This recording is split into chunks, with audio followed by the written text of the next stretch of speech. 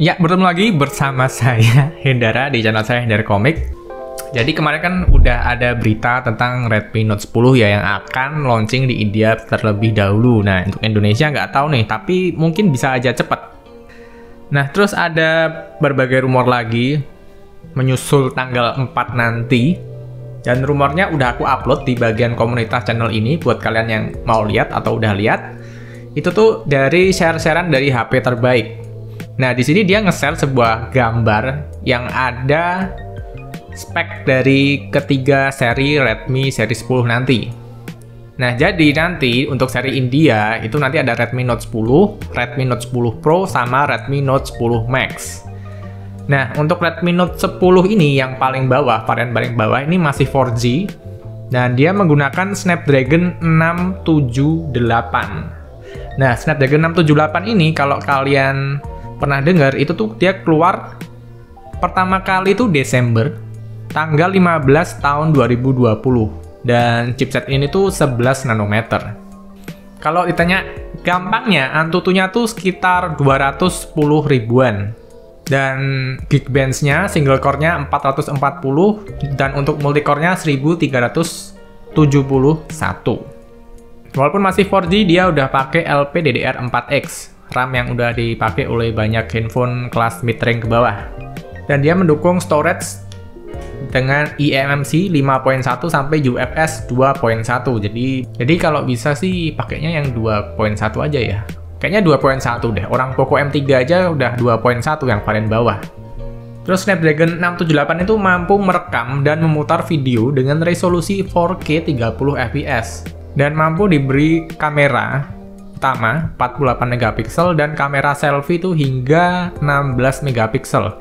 Jika ini beneran mau di-upgrade, berarti untuk seri Note 9 yang lalu akan ada peningkatan dari kamera selfie 13 megapiksel ke 16 megapiksel. Nah, tapi belum tahu nih si Xiaomi mau ngasih upgrade di kamera depan untuk seri Note 10 atau enggak. Terus, Snapdragon 678 ini tuh termasuk perbaikan dari chipset Snapdragon 675 yang dulu tahun 2018 itu pernah dipakai Redmi 7 Pro kalau nggak salah. Dan kalau kita tanya antutunya ya itu bisa dibilang selisih 10.000 aja sih. Jadi emang si 678 ini kayak 662-nya dari 665. Terus kayak 732G-nya Poco X3 dari 720G. Menurutku sih kayak gitu ya, mirip-mirip. Serupa tapi tidak sama, tapi ada peningkatan tapi nggak banyak, seperti itu. Terus dari 678 ini tuh terjadi peningkatan clock speed dari 2.0 ke 2.2. Jadi seharusnya akan lebih baik untuk seri Redmi Note 10 jika kalian pemakai Redmi Note 9, apalagi Note 8 ya.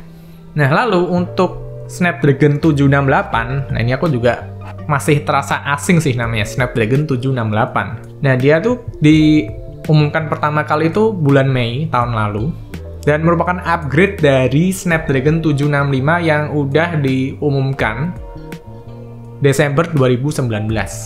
Dan kalau dari segi peningkatan itu ada sih, dari clock speed-nya itu prosesornya dari 2.4 GHz ke 2.8. Ya, itu sih lumayan gede sih.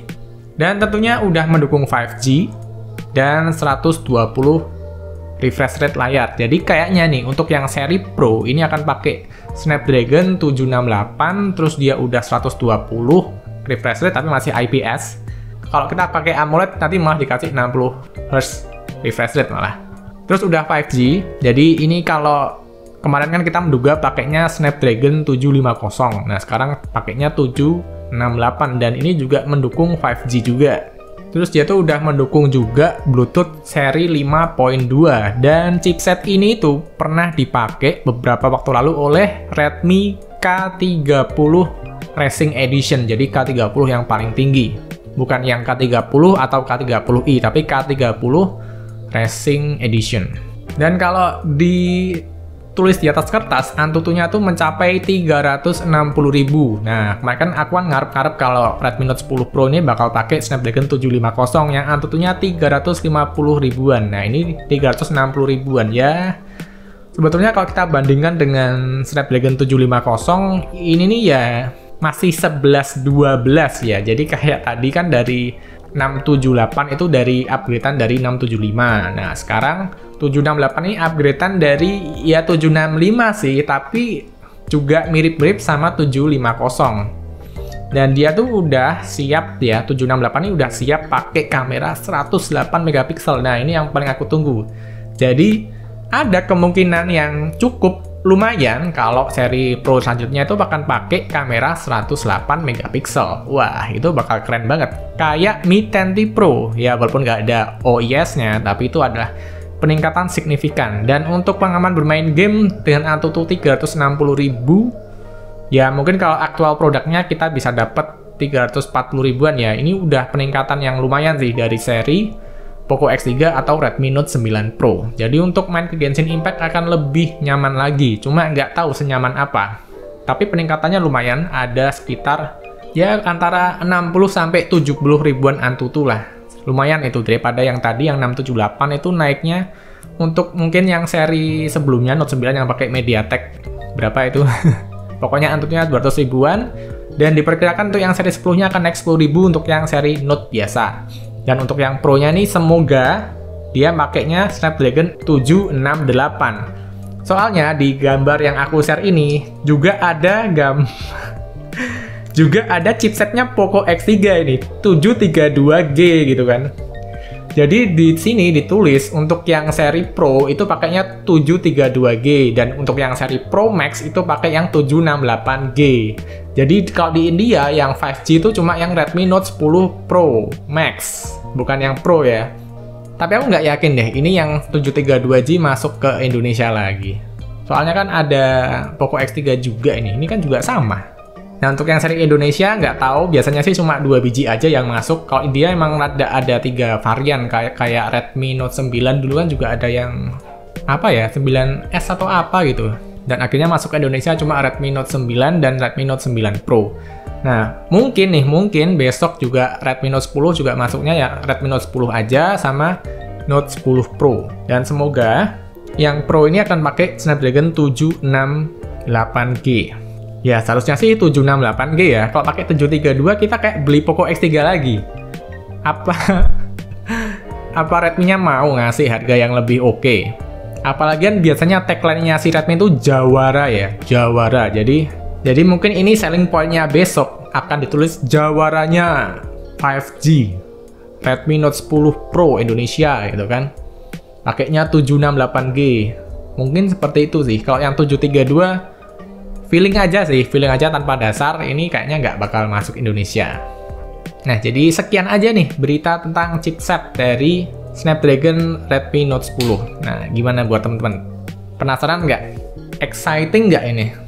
Soalnya peningkatannya yang aku rasa cuma di seri 768 aja, di seri Pro-nya. Kalau di seri kalau di India namanya Redmi Note 10 Pro Max 768 ini 5G, 108 megapiksel quad kamera, IPS 120 Hz dan pastinya udah double stereo speaker dan finger side fingerprint di samping.